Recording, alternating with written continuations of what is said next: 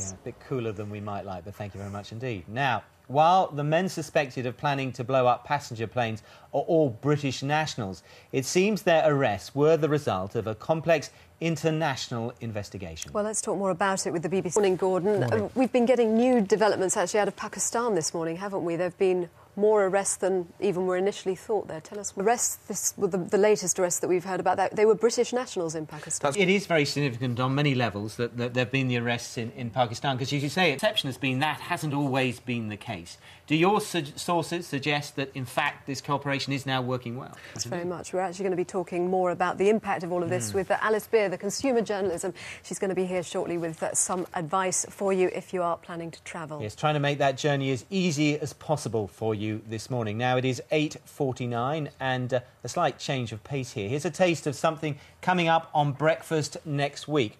What have Liza Minnelli, Bill Clinton, Dolly Parton and George W. Bush got in common? No, I can't think of it either. It's, it's not a love of Broadway musicals, I can tell you. It's something much more socially relevant than that. So, to solve the riddle, someone else who shares their trait is the former editor of The Sun, Kelvin MacKenzie. He can reveal all. Mm.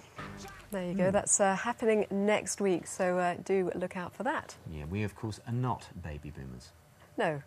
Well, well I'm definitely not. Some are. Some are. I didn't want to. Definitely not. But anyway. now, back to the story of, of, the terror alert, of course. You've been sending us your concerns and queries for the best advice on travelling on or if you were caught up in the disruption caused by yesterday's anti-terror measures. Well, the consumer champion, Alice